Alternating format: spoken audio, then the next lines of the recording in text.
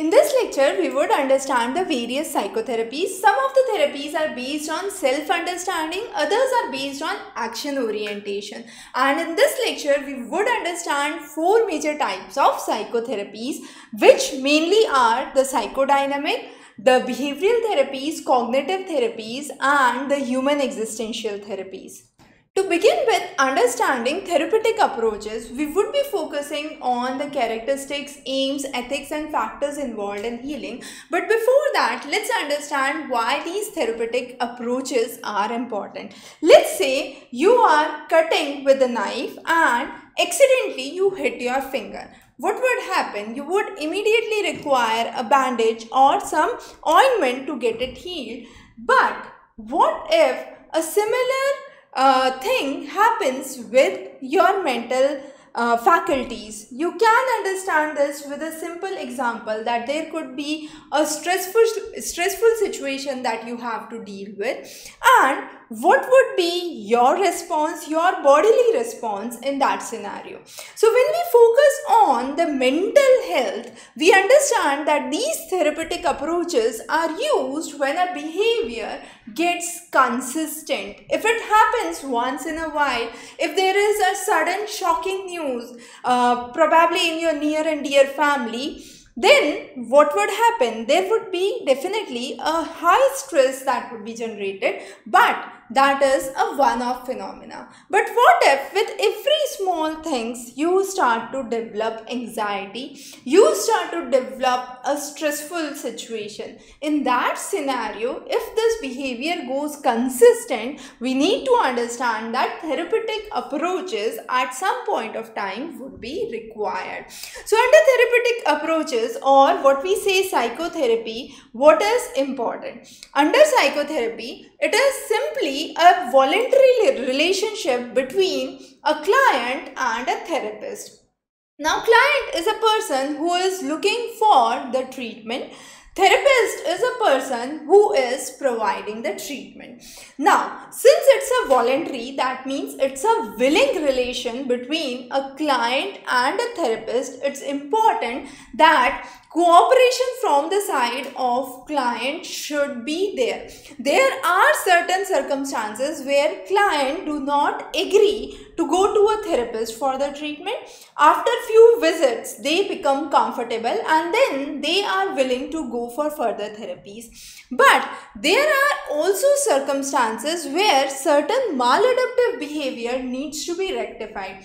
For example, a person knows that he is smoking, but despite of that, he is not able to get rid of smoking. In that scenario, what is required is a therapeutic relationship between the client and the therapist and this would help the subject or the client change his or her behavior and therefore this behavioral change that can be brought about is through the psychotherapies. Now these psychotherapies have certain specific characteristics. First of all, not anyone can do psychotherapies. You have a person who must undergo a practical training under a expert supervision in order to provide psychotherapy. There are certain set of guidelines which are provided for providing any of the psychotherapy. So we have uh, various types of psychotherapy that we would understand in the next section.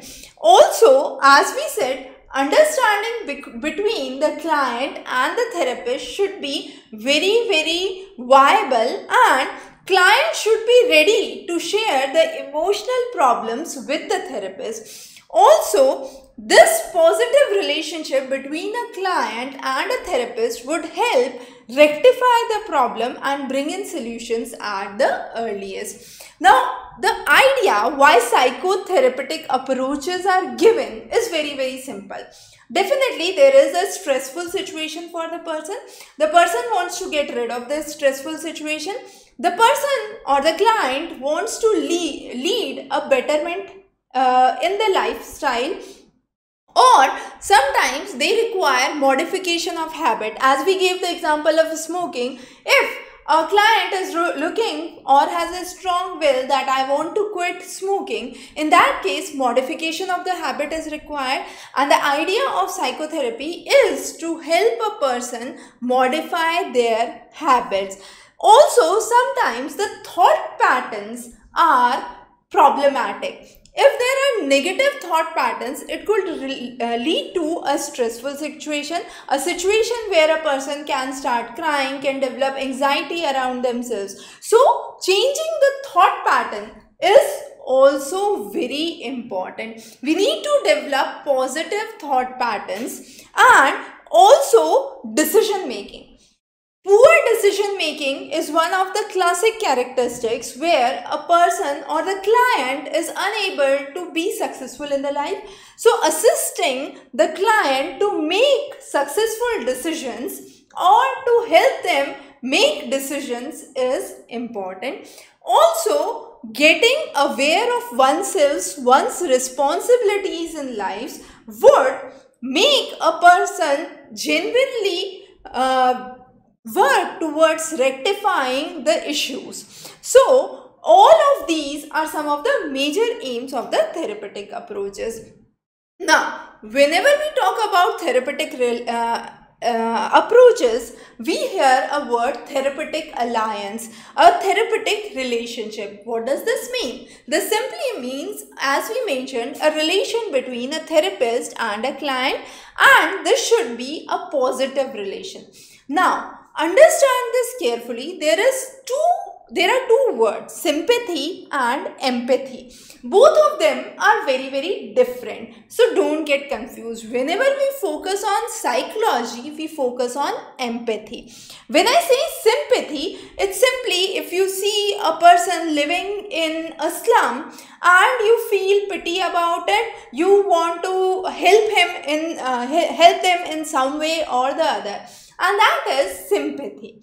However, empathy is a feeling, an intellectual level of understanding where you try to keep yourself in that position and understand or feel how would the things be with you and that is being empathetic so as a therapist when you are providing therapies to a client it's very very important that you try to keep yourselves in the position of the client and then bring forward the discussion and this would help you better understand what problems exactly the client is facing. So developing empathy becomes very very important. Also, there is a phrase which we commonly use which is unconditional positive regard. Unconditional positive regard means whatever the condition be, we keep that aside. We simply have a positive regard towards the ideas being provided by the client, the problems that the client is ready to share. And therefore, unconditional positive regard is important and empathy definitely is part of it. So empathy helps to provide a healing relationship. More the healing relationship, there is more probability that a therapist would be able to take the client into confidence and uh, work with the feelings, the thoughts, the emotions and help the client get out of the distress situation. So developing empathetic attitude becomes important. Now, whenever there is a client who is approaching a therapist, there are set of rules or steps of rules first of all. The first and the foremost thing is to identify the problem. So as a therapist, the person would try to understand talk to the client and understand what exactly the problem is. Why the client is experiencing anxiety, stress, distress, what, whatsoever the case may be. The next is identify the areas for treatment. So you have to identify what is the target therapy. Whether it is inability to let's say find a job inability uh, to do well in the examination or afraid of facing an examination or afraid of communicating with people. So whatsoever the areas are needs to be identified. So first we understand the problem with the client. The next step that we take into account is we target. We target what areas are the broad areas where client is actually uncomfortable and then based on the areas that are identified choice of treatment is devised. Now this choice of treatment depends on the kind of problem, whether it is related to let's say loneliness, aloofness, then probably humanistic ex existential theories would work good. If it is due to faulty learning, we can say behavioral therapies work good. So there are various ways under which we would understand right technique to be used for the purpose of treatment in the separate sections for each therapies as we move forward. But overall, as we understand the clinical formulations, this is a constantly ongoing process. So, we require a good insight into the content and understanding of the perspective and the uh, the surroundings of the client to resolve the issue. The next is whenever a mentally ill person comes in as a therapist what is your responsibility as a therapist your primary responsibility is to first of all reduce the symptoms now Anxiety, stress can lead to numerous symptoms. Some of those symptoms can be simply physiological, uh, simply psychological symptoms, but in certain cases, these two could convert to physiological symptoms as well.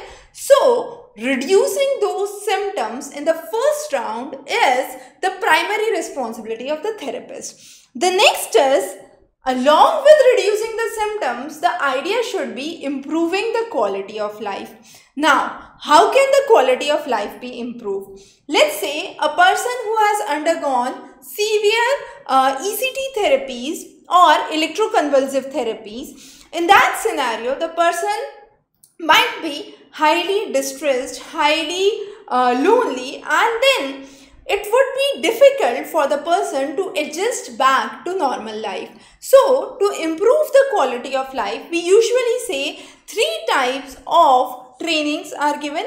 First is the occupational training. Occupational training says that anything that could help you attain uh, a kind of work discipline, this could be related to let's say uh, candle making or paper bag making and all those activity could actually help get person involved. The next is social skill training. Social skill training and explains that aloofness or uh, remaining away from society, cutting yourself from society becomes a common characteristic.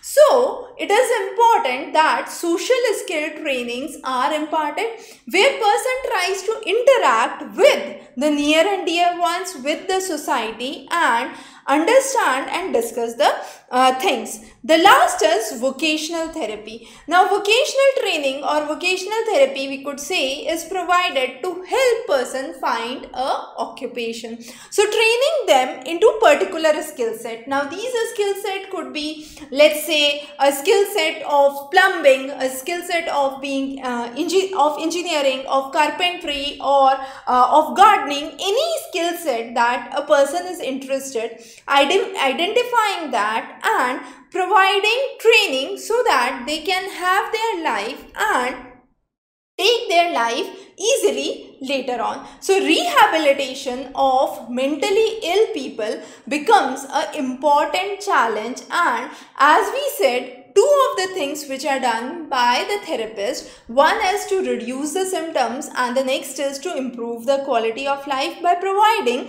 various kinds of therapies or trainings. Now, what are the factors which contribute to psychotherapy? The factors that contribute to psychotherapy are simple.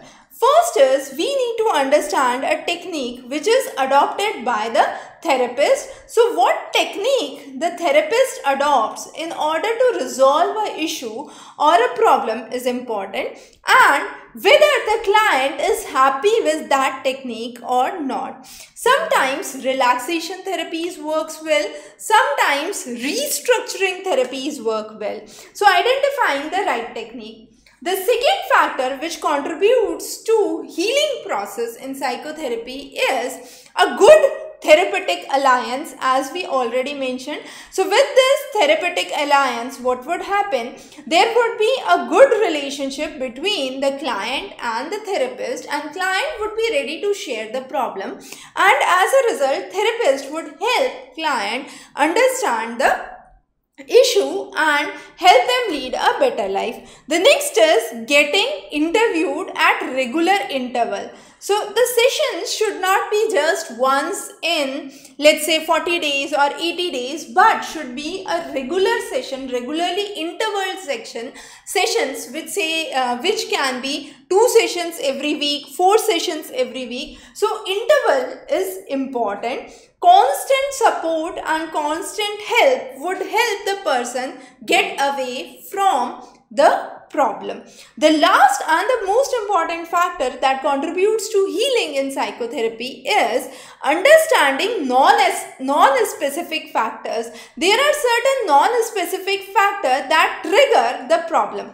Let's say a person is anxious just because uh, exams are coming near but there could be non-specific factors. For example, okay, uh, might be some of my family members would be going out. I would not have a good family support. Probably uh, one of our family members would be visiting our house. And those are not specific factors that are contributing to the actual problem. But still, the client tries to create a new boundaries around themselves and these are the non-specific factors which are associated with psychotherapies and which are really important to understand from the point of view of the therapist.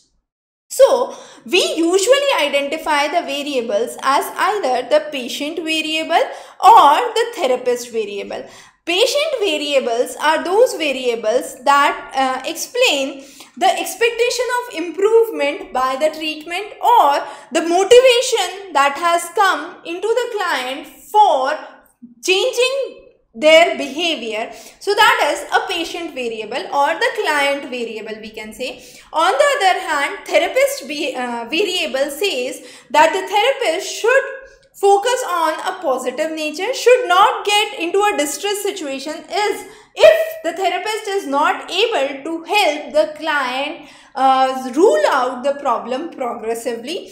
Also there should be absence of any emotional conflict in the mind of therapist very very important to note so therapist should be free of any emotional conflict and good mental health of the therapist themselves is important. So those are some of the contributing factors for quick healing when a psychotherapy is given. Also, while performing psychotherapy, some of the ethics need to be followed. The first is there should be an informed consent which needs to be taken from the client. The confidentiality of the client is very important. That means client is ready to share the problems with the therapist but therapist should take this responsibility that this is between the client and the therapist and therapist does not go around and publicly speak about the problems of the client.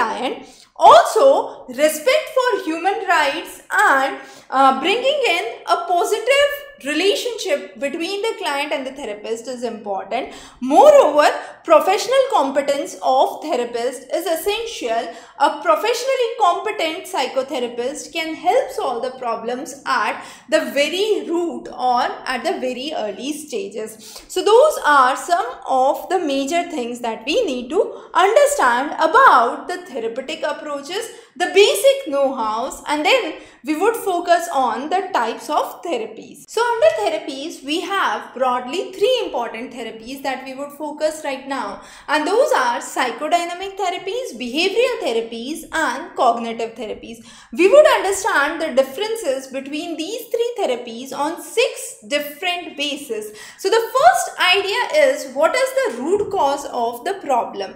Under a psychodynamic therapy, we believe that it is an internal conflict, something that arises from within. So let's say there is no one else telling you anything, but you yourself think that someone person XYZ is thinking so and so about me. And this is a conflict within yourself, an internal conflict that is that you have created within your psyche. You do not know what that person thinks and rather that does not affect you but still you have created a conflicting situation and whenever you face the person xyz you would think that this person has a following mindset about me. So that is the main root cause that is being identified by a psychodynamic therapy.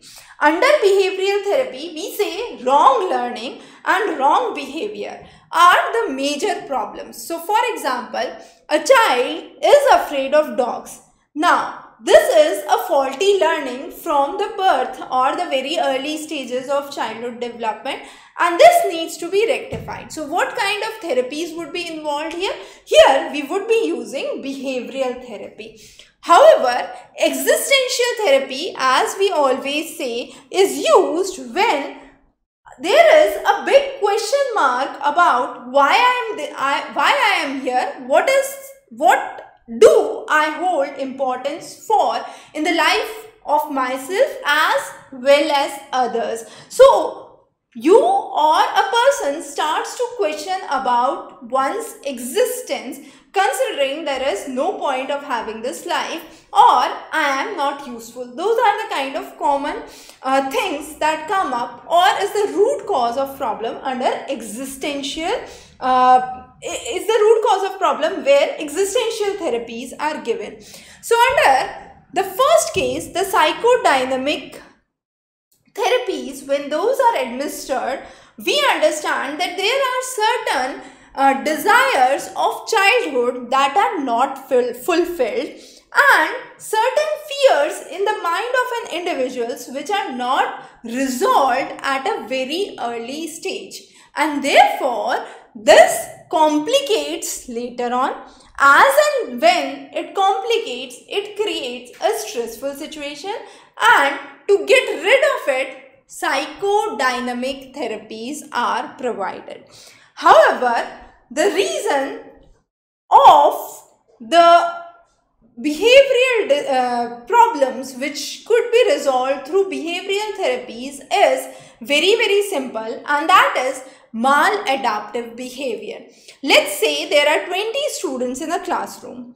19 of them follow the discipline. However, there is one student who is always standing on the table rather than sitting on the table, or uh, standing on the chair rather than sitting on the chair and that is an example of maladaptive behavior. So, that kind of behavior needs to be fixed through the behavioral therapy. So any behavior which is publicly not seen. Let's say you are walking on the road and there are uh, dogs moving sideways. There would be 20 people who would be walking straightforwardly but there would be one person who would be running unnecessarily because of the fear of dog and therefore this becomes a maladaptive behavior. So behavioral therapies are useful to remove those kind of faulty learning patterns, faulty behavioral patterns and faulty cognition or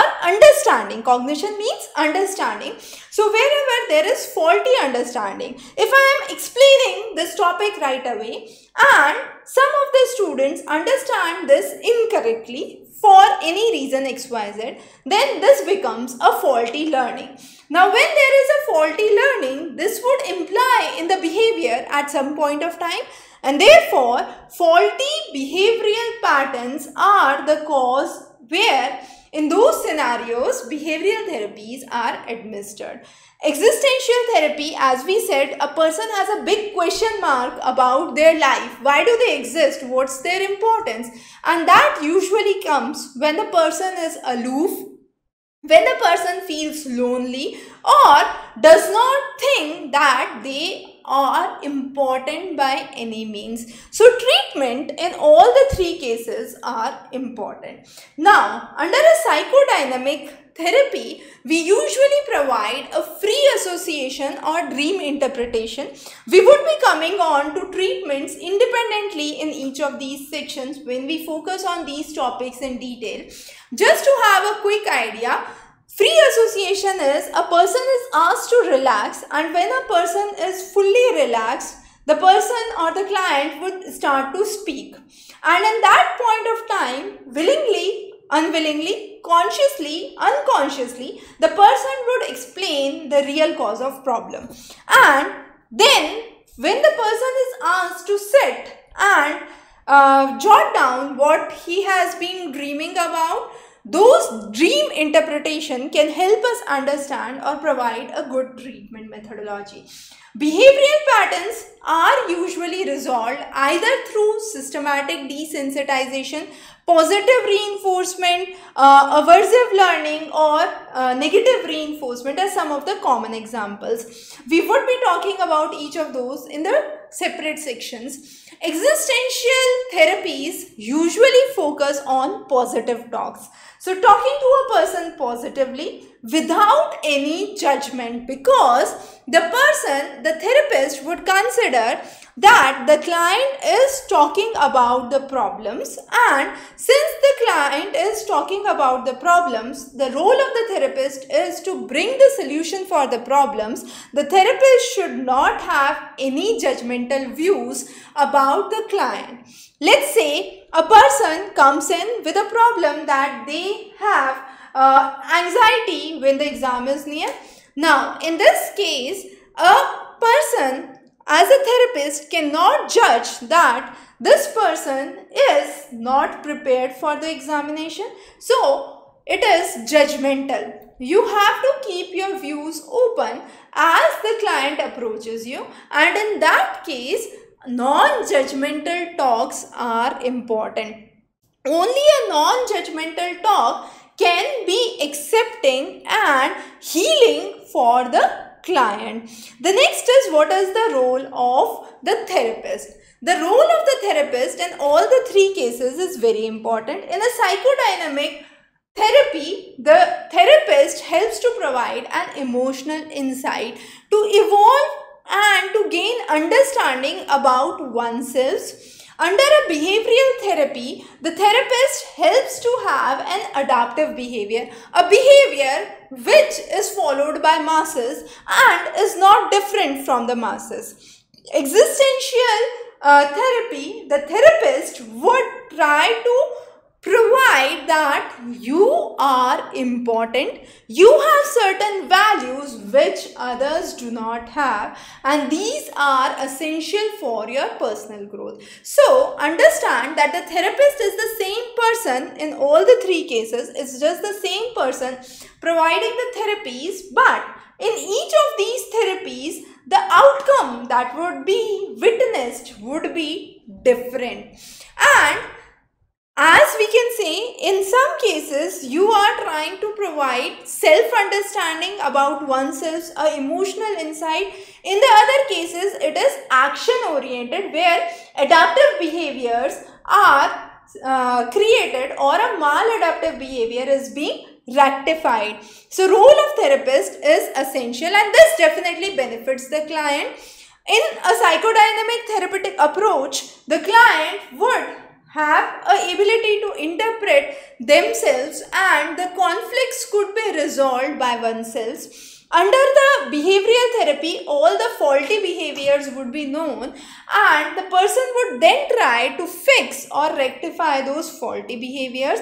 And finally, under an existential therapy, the person uh, usually have a idea of developing empathetic relationship and with this empathetic relationship more motives, aspirations or values could be brought into account. Now as far as treatment is concerned, psychodynamic is the longest of all the three.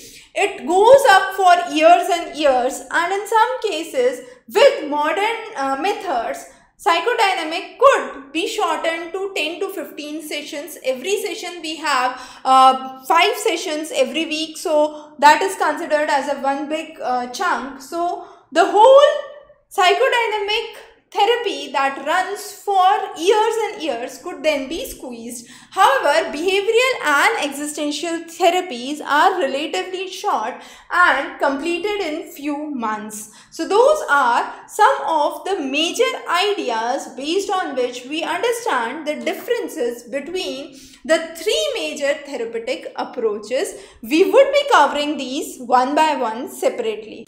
So the first one is psychodynamic therapy. Now psychodynamic therapy was initially laid down by Sigmund Freud. Later on, his successor Carl Jung also followed with the concept of psychodynamic therapy, but it was analytical psychodynamic therapies. However, the later followers of Sigmund Freud, who were known as Neo Freudians, also established their own unique versions of this classical psychodynamic therapy. Now, this psychodynamic therapy involves understanding the internal conflict, the internal psyche of a person and resolve the issues that are internal to a person. So, this psychodynamic therapy works in three stages. In the first stage, the client becomes familiar with the routine process of the relation with the therapist, what are the things and tries to uh, recollect all the superficial material into the conscious state of mind that is into the unconscious state of the mind. So let's say a person could be unconsciously worried about something and the person is actually not aware why there is certain change in the behavior which is seen and that is the thing which is happening in the back of the mind, the unconscious mind. So, under a psychodynamic approach, the first thing is to bring those unconscious things into the conscious mind so that the client knows what the problem is. The second stage is the actual modality of treatment where there is firstly the transference, then the phase of resistance and then a phase of interference. We would understand all these three in a while so don't worry. Uh, so there is the second stage where do you have the modality of the treatment and the last stage is where Finally, the issues are resolved and the relation between the client and the therapist is over and the client is now ready to leave the therapy happily, getting rid of all the problems. So those are the three stages under which a psychodynamic therapy works. So as we said, under this psychodynamic therapy, there are two important components. First is the free association and the second is dream interpretation. So free association and dream interpretation form the basis of psychotherapy. What are those? Free association is very very simple. The person is asked to relax and when the person is asked to lay down and relax, the person starts to speak out whatever comes to the mind. So the person is given a peaceful healing atmosphere where they constantly try to get themselves relaxed and whatever comes to their mind is being uh, is being said. As a result, all those things that were unconsciously in the mind of the client are being revealed. And these are being taken into account by whom definitely by the therapist. So this is a meta uh, this is a method of free association to summarize again under free association free flow of ideas, desires, any uh, thing that is running into the unconscious mind is allowed. The person is into a very relaxed state and therefore therapist is able to comprehend what the actual problem is regarding. Once the therapist gains this information, the therapy actually becomes easier. Not only this, when the client is uh, brought into consciousness, the client is then asked to mark down whatever has come in the dreams. This could be simply by drawing symbols, symbols, simply by drawing images or whatsoever they have seen or witnessed when they were lying down. And this process is known as dream interpretation. Later on, these symbols and these things are being analyzed by the therapist. The therapist tries to understand why certain symbols, certain images have been drawn by the client. Now, this is a more practical way. Why?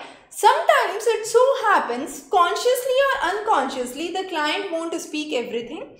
But when it comes to drawing or marking as symbols, they would mark because there is no issue of ego there.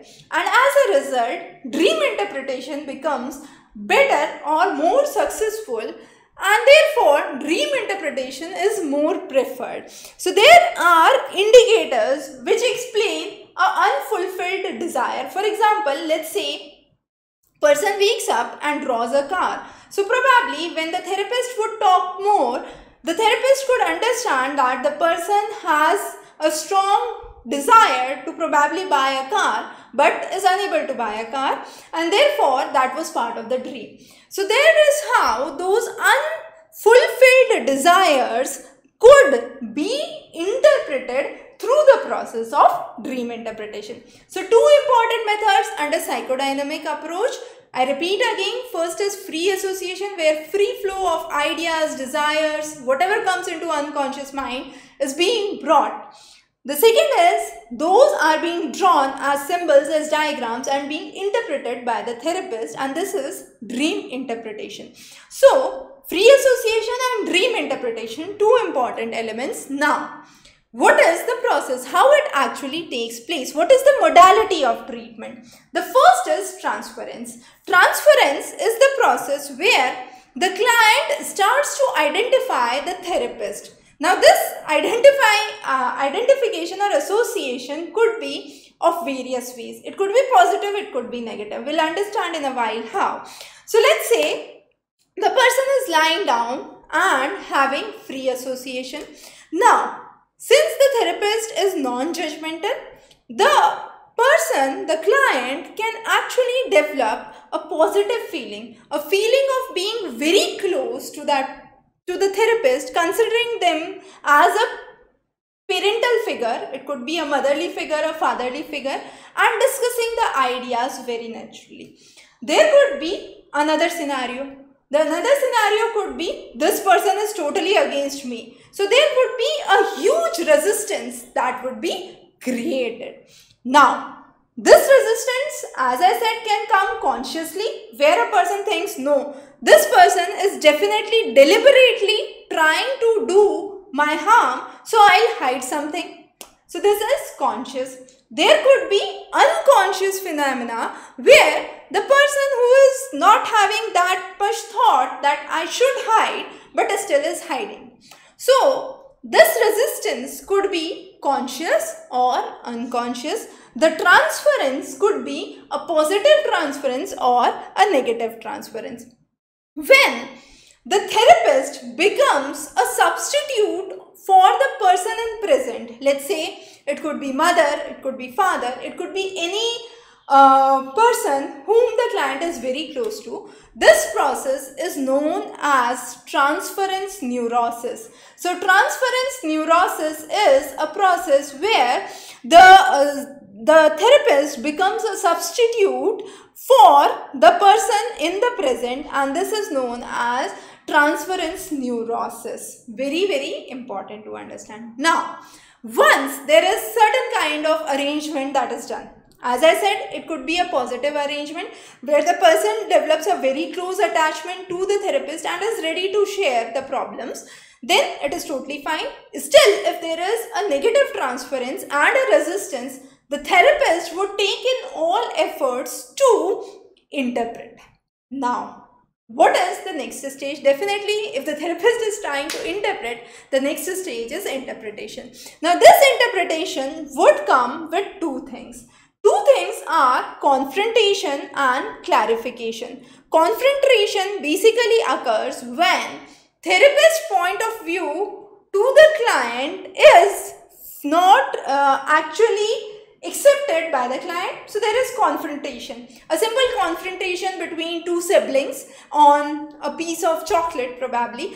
You would eat or I would eat. So that is a kind of simple confrontation. So the therapist points out to the client the kind of psyche that must be faced by the client. So sometimes the client would be ready to hear that Sometimes the client would not be ready to hear that. If it is a positive transference, the client would be ready to hear that. If it is a negative transference, there would be resistance. So confrontation is important to understand. The next is clarification. Clarification is the stage where therapist actually brings in a clear picture of the confusing event. So what is confusing for the client is actually not confusing for the therapist. The therapist who is external to the happenings is able to externally view and analyze why the things are running like this and it appears like a movie.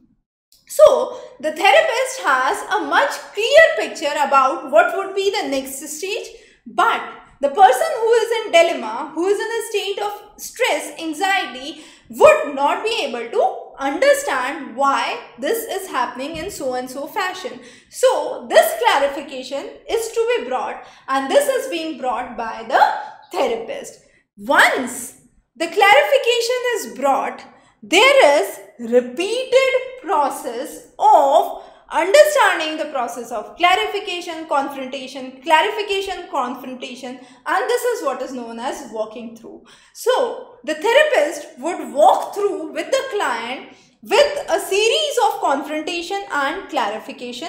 Every few sessions, the therapist would have to explain that this is a confusing event, remove it, this is a positive event incorporated and this would constantly go on. So this is walking through. Once with the process of walking through is done, insight is the outcome.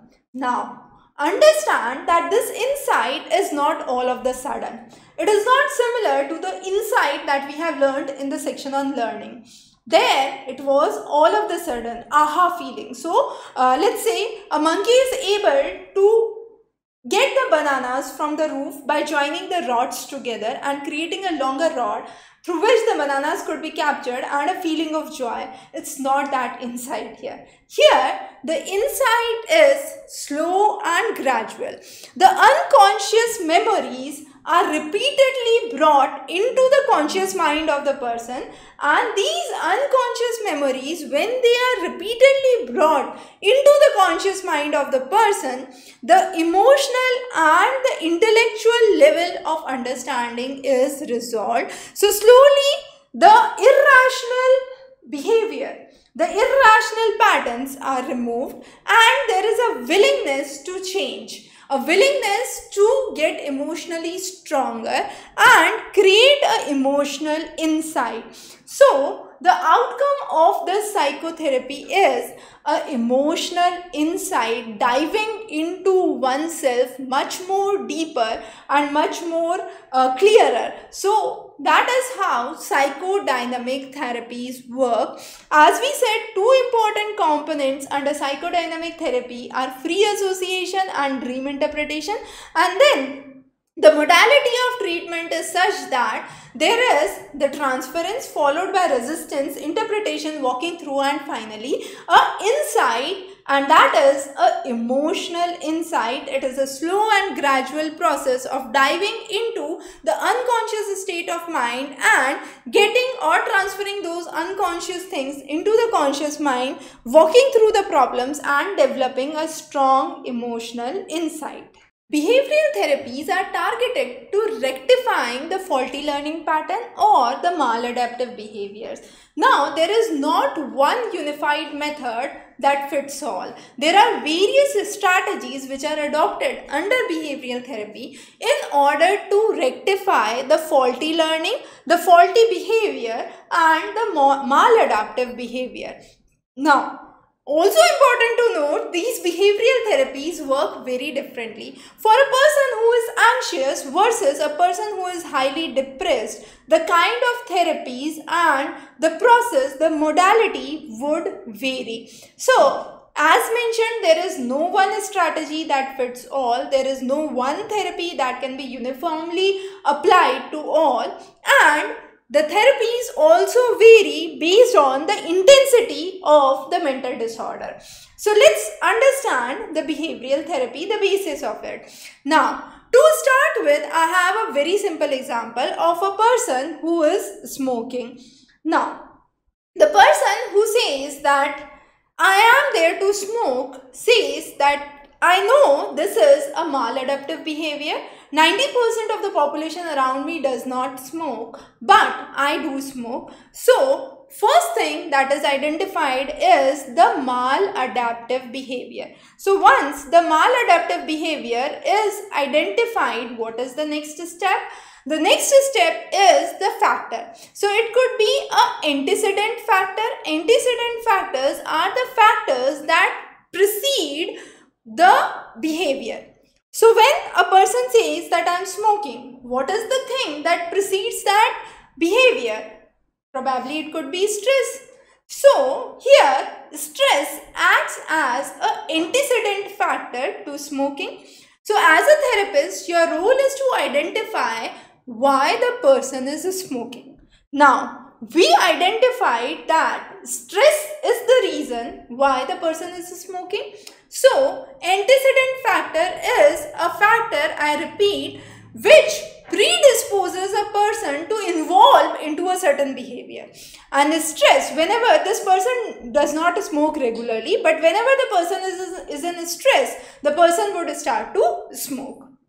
So this is a antecedent factor. The next is a maintaining factor. Maintaining factor is a factor that leads to persistence in the faulty behavior. So this behavior would linger on and on. So when I say this behavior lingers on and on or goes continuously, we call this as a maintaining factor. So by interviewing the person, interviewing the close family members of the person, we can do the annual examination of that client and understand when this person smokes what are the factors that lead to smoking for that person and finally what are the feelings that that person gets involved with and that acts as a maintaining factor. So once the person is in stress, the person starts to smoke and then after the person starts to smoke, what are the factors that continue to force him to smoke? So those are the maintaining factors which always reinforce uh, the person to get a relief from the anxiety which is caused. So there is understanding of the antecedent and the consequent operations. I have a very simple example. Let's say a person, a child is there. Now when the child is at the homework, the child says I am hungry. The child eats a lot of food. But what happens at a dinner time? At the dinner time, the child rejects, I don't want to eat anything. Now, as a mother, what you can do? There could be two ways to approach it. First is a antecedent operation, the next is a consequent operation. The antecedent operation is pretty simple. You cut down the amount of intake of the food at the time of tea Probably the child would get hungry and consume more in the dinner. So this is a antecedent. This is something prior. So you reduce the food at the time of the tea and therefore the child would remain hungry and would consume more at the dinner time. This is an antecedent operation. What could be a consequent operation? Consequent is something that happens after. Let's say a child takes the diet normally during the dinner time. Rather than leaving it as such, you simply praise the child. And this is a consequent operation. The child would be happy about it and when the child would be happy around it, probably this would become a habit next time. And this is what is a consequent operation. Clear? So two operations that are very very important in behavioral therapy is the antecedent operation which is prior to the, the things that you manipulate prior to the consequence. Consequent operation is as a result of the consequence. So once done, you are trying to bring that into practice. Both of these methods, be it the antecedent or the consequent, would slowly remove the faulty behavior and create a more adaptive behavior. Now, as I previously mentioned, behavioral therapy is not just a one sock that fits all. It is a series of techniques that can be involved. And here is the list. Of these, the most important ones that we focus are the negative reinforcement and the aversive conditioning. Two of these are very, very important. All of these techniques are directed to change the behavior of an individual to make a maladaptive behavior or to convert, I can say, a maladaptive behavior into a adaptive behavior. This could be through reinforcement techniques this could be through operant conditioning methods as we have studied in learning. So, let's understand these techniques one by one. The first technique is a technique of negative reinforcement. Negative reinforcement simply means you try to move away from a dangerous stimulus. As simple as that. And this is what is negative reinforcement. Simply meaning that if there is an extreme cold weather situation, you simply try to keep yourself away from that situation. So what you can do is you can buy an electric heater, you can have a big jacket over you and that is how negative reinforcement works. So negative reinforcement simply put helps you to move away from the dangerous stimuli and help in creating a behavioral modification and this is a negative reinforcement. The next is aversive conditioning. Aversive conditioning is something you want to keep away from. For example, a person consumes alcohol. So, you want that this person should quit alcohol. What you can do is give a person a mild shock and then ask him to smell the alcohol.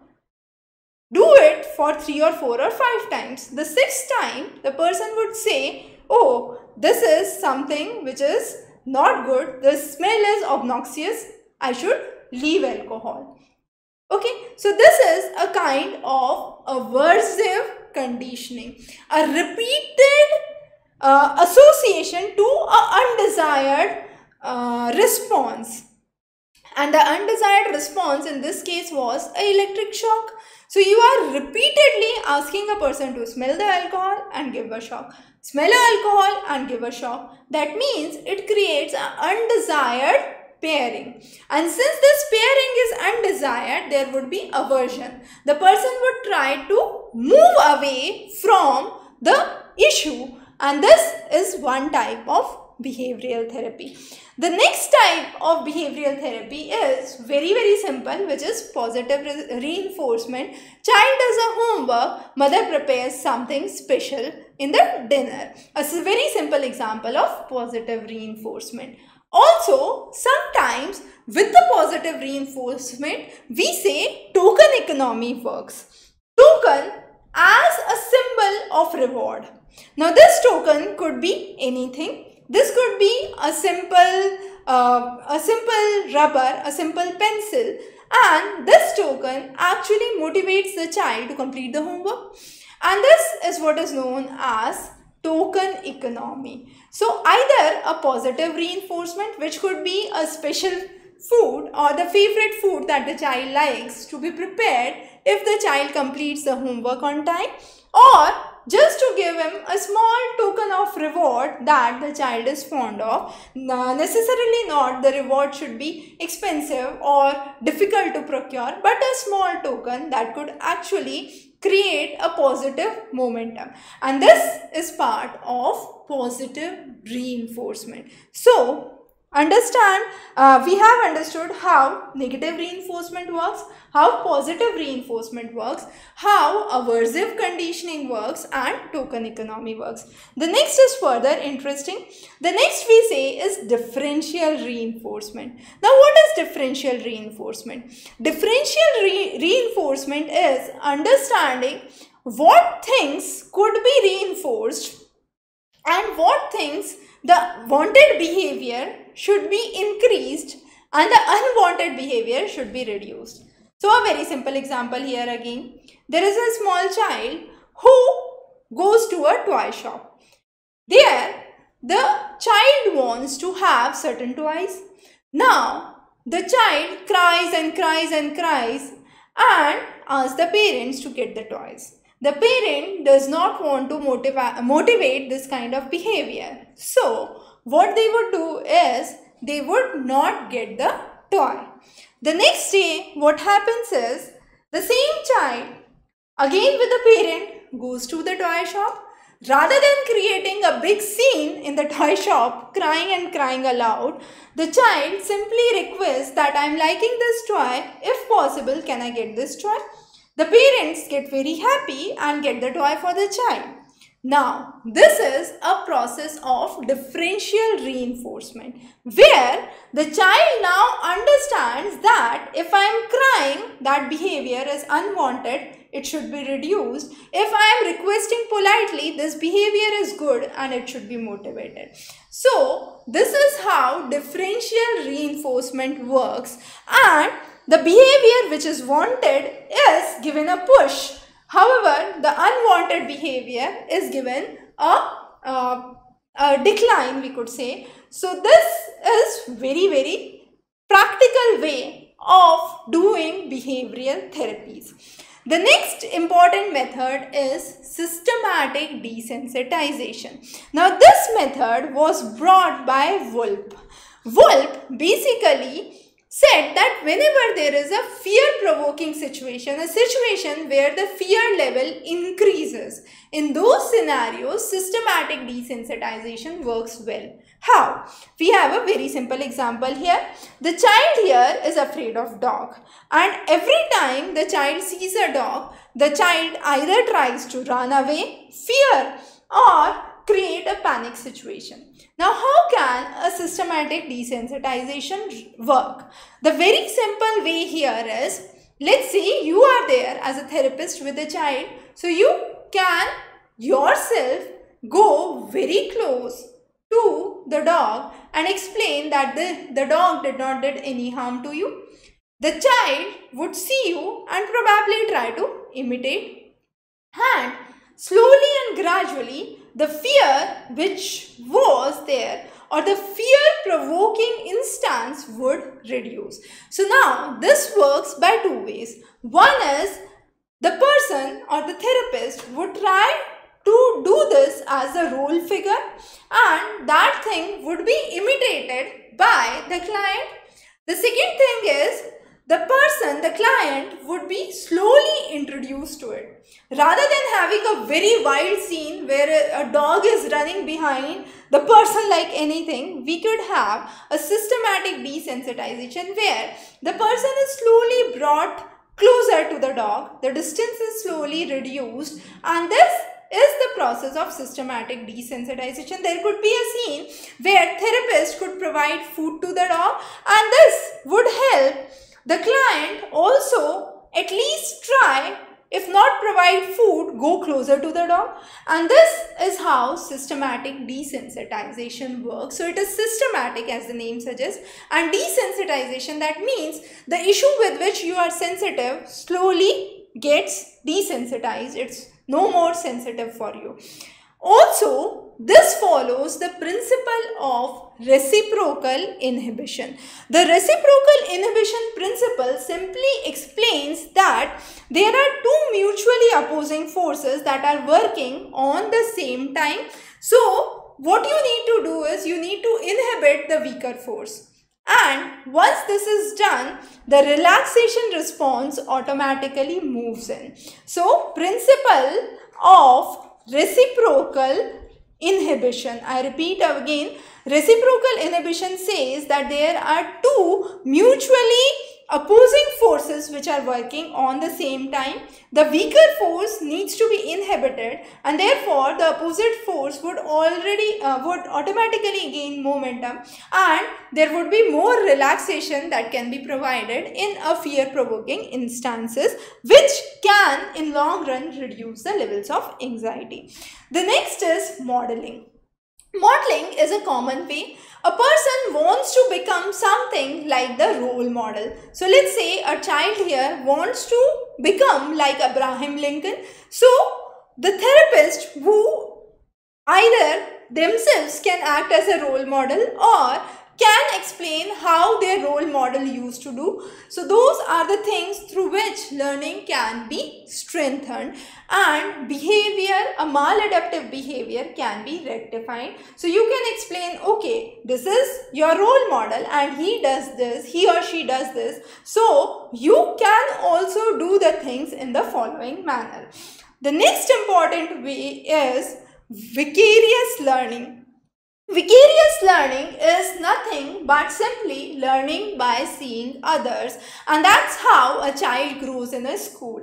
A child when on the first day is asked to climb up the slide and move down the slide probably 5 of the 10 children may be afraid but the other 5 who move down the slide the 5 children who are afraid would see them and try to take a step forward and enjoy the slide later. So that is what is vicarious learning. Vicarious learning is simply learning by observing others and in this process small changes are there or small rewards are there which change your behavior. So this is an excellent way of bringing in behavioral changes. So in this section, we have understood how various behavioral therapies work and the various examples which you can understand the therapies with. Cognitive therapies help understand the psychological cause behind a distress situation and the reason why irrational thoughts and beliefs are generated into mind. So under cognitive therapy, we would understand three basic therapies. The first is RET, which we call as the rational emotive therapy. The next is the Beck's cognitive therapy and finally the CBT or the cognitive behavioral therapy. To begin with, the very first therapy which is the rational emotive therapy, this therapy believes in a simple ABC principle. What is this ABC principle? A means antecedent, B means belief and C means consequence. So uh, antecedent is something that precedes the irrational behavior. The belief we can say here is the irrational belief and the consequence is uh, something that is because of the irrational belief. Now, usually when I say must, when I say should, these are some of the phrases that particularly uh, denote a kind of irrational belief in certain circumstances, not always. Uh, let's say if I say you must attend the class regularly, so that must is fine, but let's keep it into a different form where I say uh, I should be praised in class every day. Now, if I say I should be praised in class every day, this makes it a irrational belief. And this is a antecedent antecedent that would trigger this irrational belief that I am something very special in the class and I should be praised in the class. And finally, the consequence is the requirement for a therapy. And therefore, we call it as the ABC or the antecedent behavioral consequence analysis, which is the rational emotive therapy. So, firstly, there is a irrational belief, a belief that I should be uh, praised by everyone. I should be loved by everyone. I should be respected by everyone. I should be uh, made the most important person of so and so. So this is where a irrational belief comes into play. And usually most of the irrational beliefs are refuted by the therapist and they are through the process of non-directive questions. If the questions are directive, then uh, th that would probably lead to a feeling of inquiry among the mind of the clients. And therefore, the questions should be gentle, the questions should be non-directive in nature and moreover, it should be an assumption about what the life should be, what this problem should be if this comes to a therapist, how the client would handle it. And in this fashion, the RET therapy works and there is a reduction of psychological distress. So the most important form here is the questions which are put by the therapist should be gentle, should be non-directive and directed to changing the philosophy of life for the client, reducing the irrational beliefs and gradually increasing them into a rational logical viewpoint. The next is Beck's cognitive therapy. Beck's cognitive therapy experiences or explains that childhood at some point of time uh, experiences uh, the that a child has in the younger age group which is either developed by the family or developed by the society. What we can say the core schema around the child create certain beliefs certain notions in their life. Now when these beliefs these notions are created this could be a reason for the requirement of cognitive therapy later. For example if a child is neglected in the early stages by the parent. This could be a reason where child in the later stage can think that I am not wanted. If the child is not uh, decent looking, the child can develop a feeling that I am ugly. If a child does not perform good in one or two assignments, a child could develop a feeling that I will never succeed. Now, all these which I quoted that I am ugly, uh, I'll never succeed, I am not a wanted child. In those cases, there are a cognitive structure. But this cognitive structure is not functional.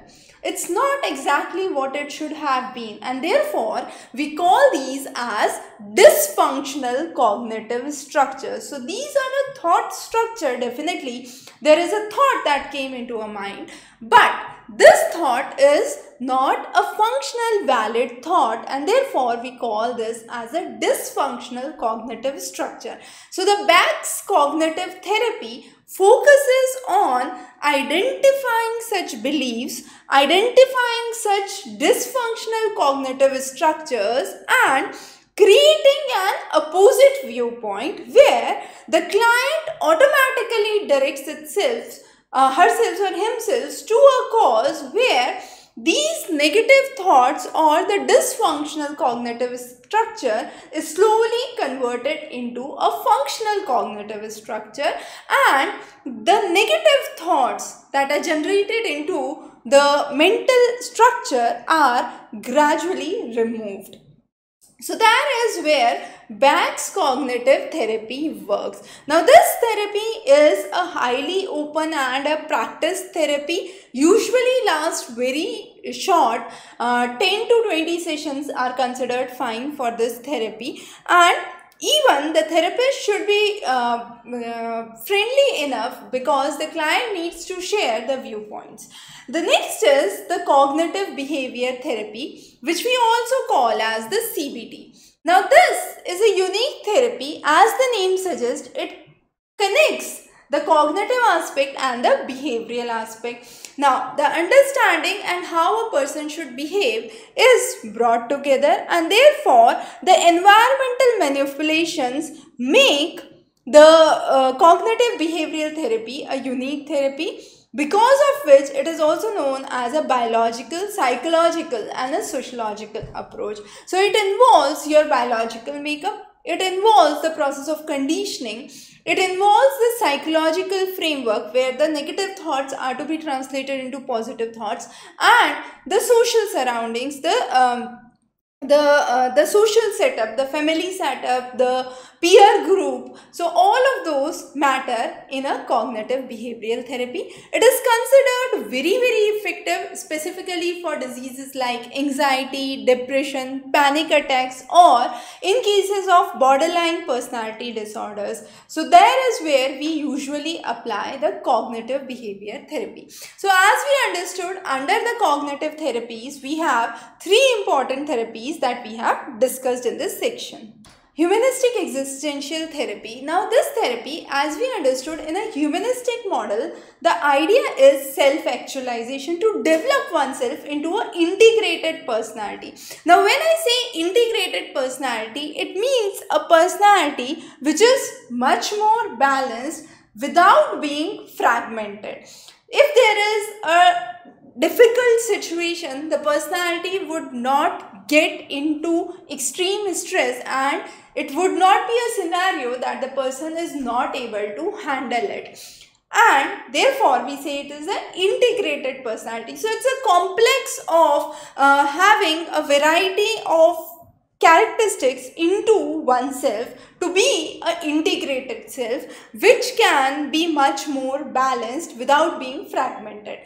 However, if this self-actualization drive is not achieved, in that scenario, humanistic existential therapies are provided. So, if the person tries to think that there is no personal growth, I cannot grow further. Sometimes even the basic requirements are not met. But if the basic requirements are met, the self-actualization is not met. And in that case, humanistic existential therapies are given. The idea is to heal the person. So, the role of the therapist is merely a guide or a facilitator. The therapist won't do anything. The therapist would simply help the person realize and create a responsible scenario. The person, the client himself or herself would take the responsibility to move out of the problem situation and therefore healing process occurs and this is a process that is naturally happening by creating a integrated self. So this humanistic existential therapies can be broadly defined into three types. Existential therapies, client-centered therapies and gestalt therapies. To begin with the existential therapy which was given by Viktor Frankl this therapy focuses on an ancient term which was logotherapy. Logotherapy means meaning making. Uh, making meaning of everything. So that means if anything is brought to you, you try to take that into a positive scenario and consider that this would change your life for betterment.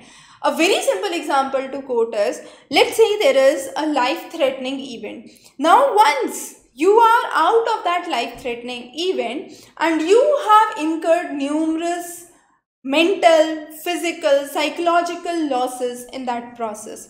Once you are out of that threatening episode, you still think that life is meaningful and you try to work for your existence.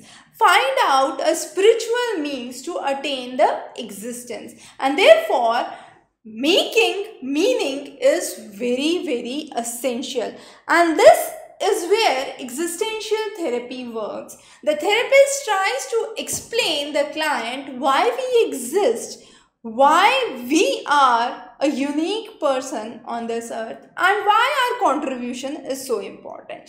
So, this is how uh, existential therapy works. But on the other hand, if we look from the client's perspective, client sometimes might be highly depressed or into a very uh, challenging situation. And therefore it is essential that therapist gives a good atmosphere maintains the values the feelings of the client and then uh, create a situation where client is client tries to get themselves out of the problem situation. The next is client centered therapy. This therapy was propounded first by Carl Rogers and this is totally based on the concept of empathy. Empathy as we have understood before is a very uh, basic construct where we focus on keeping oneself in others position. It's not something similar to sympathy where we have pity on others but we try to understand that what if we were in the same situation what could have been done? And therefore role of empathy is important. So client centered therapy propounded by carl rogers focus on empathy and believes in an unconditional positive regard. Unconditional positive regard represents or explains that there is a positive warmth uh, or a positive feeling by the therapist. Therapist is not at all judgmental. Therapist is trying to understand and uh, create a friendly atmosphere is highly cooperative and this would help the client to become a integrated personality as mentioned which is the basis for the humanistic existential therapies this would also increase the level of adjustments for the client and therefore is a highly recommended method where client has freedom has a, a close feeling of security and trust with the therapist. So this is what client-centered therapy focuses on. The last is the Gestalt theory. Gestalt theory was first propounded by Fritz Perls along with his wife Laura Perls. Both of them aim to increase the individual self-awareness. Now how was their idea to increase the self-awareness. The idea was to accept accept it by yourself and then you would be able to resolve the problem. So any fantasies that come around the conflicts or the irrational thoughts should be accepted and no longer be considered as fantasies. Sometimes there are situations where students come up with a report card but still they have a dream oh this report card could be changed there could be new marks that could be allotted and i could get probably uh, this much i would pass in this paper. So what happens is acceptance. So acceptance is to be realized by the client. Fantasy and the world of fantasies has to be avoided this therapy, specifically the Gestalt therapy, is classically used with group settings. A person would try to accept the problems best when they are in a group setting, not as an individual setting. So Gestalt theory works best in group therapies. So group settings. So these are the three important forms of humanistic existential therapies for psychological therapeutic operations. Biomedical therapies are another form of therapies which are given to the client but here psychologists cannot move forward because what is required is medicines for treatment and since medicines for treatments are required who would be taking into role is the psychiatrist. Psychiatrists are medical professionals who can prescribe the medicine. Psychologists cannot prescribe the medicine. So the things that cannot be resolved by psychologists are handed over to psychiatrists. Medical treatments, drugs or ECT is given for extreme cases. Now, certain medical, uh, certain mental disorders if those are more severe for example post-traumatic stress disorder there could be a trauma situation a sudden cyclone hit the region and as a result the house is lost everything is lost some near and dear ones are lost so it could be a post-traumatic stress disorder similarly there could be uh, other uh, mental disorders, schizophrenia could be one of those. In those cases, medicines are given. Now, these medicines can vary. The strength of these medicines can vary. In normal conditions, milder medicines are given. If the conditions get extreme, strong medicines are given. And this should be given under strict medical supervision. They do have lots of side effects. Uh, some of the common side effects are uh, lethargy, dizziness, higher amount of sleep levels, uh, aiming to relax the person and therefore medical therapies are the part of the psychiatric treatment. Next to this is if the things cannot be still resolved by medicines, electroconvulsive therapies which are known as ECT are given and these electroconvulsive therapies are electric shocks given to a person. Now these electric shocks induce convulsions in the body and as a result there is changes and improvement in the behavior of an individual. So ECT or electroconvulsive therapies are the cases where medicines actually do not work and uh, these are administered when the drugs are not able to control the scenario.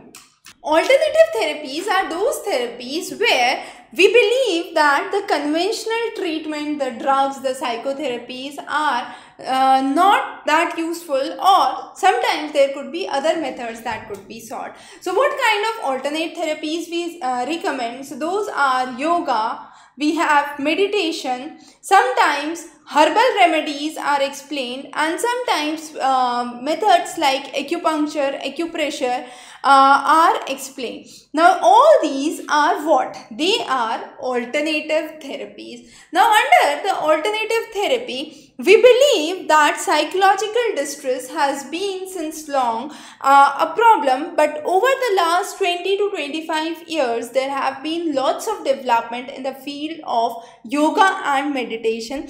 Breathing practices, pranayam, uh, reciting or chanting of mantras. So those some of the ways through which attention gets focused and once the attention gets focused the irrational thoughts, the irrational beliefs are slowly removed. Under the alternative therapies, we would first talk about three important uh, systems. The first is the Vipassana meditation. Vipassana meditation is a mindful uh, mindfulness based meditation where there is no object in front of you the person simply sits and tries to concentrate on an abstract point closing the eyes and all the bodily sensations, all his awareness would pass through that stage. And that is the Vipassana meditation. The next is Sudarshan Kriya Yoga. Sudarshan Kriya Yoga is a set of breathing exercises. Now these are uh, highly recommended for disorders like anxiety, depression, uh, post-traumatic stress disorders, sometimes uh, stress which is because of medical illness. In all those cases, there has been Sudarshan Kriya Yoga which is practiced which is believed to be a good cure. NIMHANS, the National Institute of Mental Health and Neurosciences, have explained that Sudarshan Kriya Yoga has been highly effective in reducing the cases of uh, depression. Also, it has been quoted that alcoholic people who practice Sudarshan Kriya Yoga have significantly reduced levels of stress and depression. People who are not able to sleep, insomnia, a disorder as it is called as. So, inso insomnia can be treated with yoga and Sudarshan Kriya Yoga as it improves the quality of sleep. The next is Kundalini Yoga. Kundalini Yoga is a yoga method where breathing practices are along with chanting of mantras. So both breathing activities along with chanting of mantra would be part of the Kundalini Yoga. So Kundalini Yoga helps in giving emotional stimuli, helps in developing better response and reducing the negative thoughts. Also, we focus on progressive muscle relaxation technique. Now, this is a state of relaxation. In a progressive muscle relaxation, the client is taught to contract certain group of muscles in order to make the client aware that the stress level has been induced. Then, the client is asked to relax it slowly and this is a progressive muscle relaxation technique. The idea is when you are contracting, the tension gets confined and when you are relaxing, it is slowly dissolving. The client would try to practice this and relax the muscles whenever there is a stress situation, a tension situation, an anxiety situation that arises. So this form of progressive muscle relaxation is also practiced and this is one of the best ways we could say where anxiety can be treated. Uh, usually people who are alcoholic, who have, uh, who are indulged in smoking, have higher levels of stress at certain point and therefore they are inclined towards these activities and as the result of progressive muscle relaxation or Sudarshan uh, Kriya Yoga, these could be significantly reduced. So those are some of the methods of alternative therapies which have been explained.